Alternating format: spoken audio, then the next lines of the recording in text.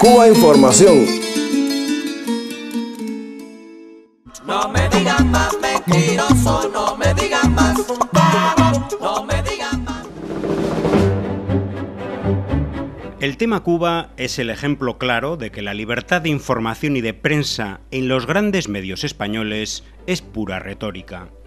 Un solo mensaje se repite en diferentes formas, grados y matices en noticias, reportajes o secciones de opinión de prensa, radio y televisión. Cuba tiene, nos dicen, un régimen político no democrático al que se debe exigir una apertura. Este mensaje es único no solo en los grandes medios privados, también en los públicos.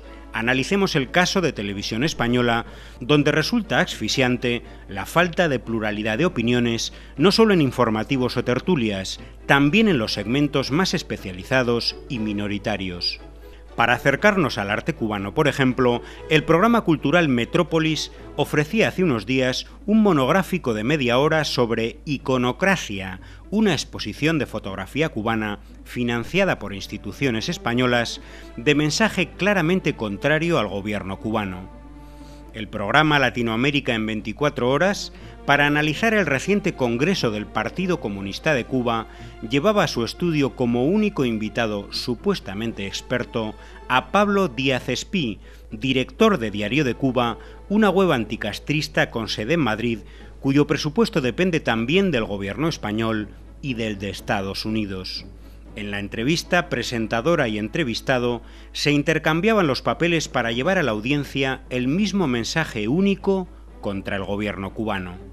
Un congreso bastante decepcionante para muchos, empezando por, esa retórica continuista, por ese tono antiimperialista que ha usado de nuevo el, presidente Raúl Castro. Se vienen tiempos peores en, términos de derechos humanos por eh, este ocaso del, totalitarismo, pues eh, también el régimen se siente más vulnerable.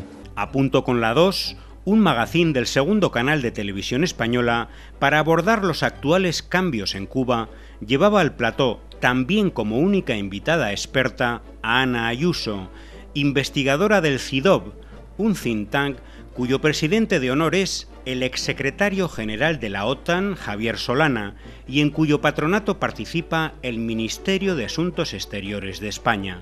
CIDOB se presenta como un centro independiente y plural argumentando que integra a personas cercanas al Partido Popular, al PSOE y a la derecha nacionalista catalana.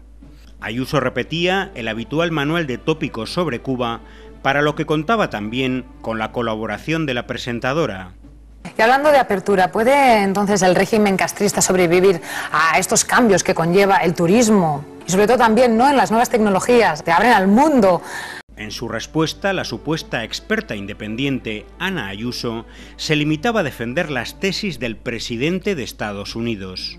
Sí, de hecho Obama puso mucho, mucho énfasis en las nuevas tecnologías y, por ejemplo, uno de los problemas de la isla es que no hay libertad de prensa. Varios mensajes inapelables para la audiencia, que la Casa Blanca es quien pone énfasis en el desarrollo de las nuevas tecnologías de Internet en Cuba, cuando ha sido el bloqueo de Estados Unidos y no el gobierno cubano quien ha impedido su desarrollo en la isla, y que en Cuba no hay libertad de prensa, pero sí la hay en Estados Unidos o España.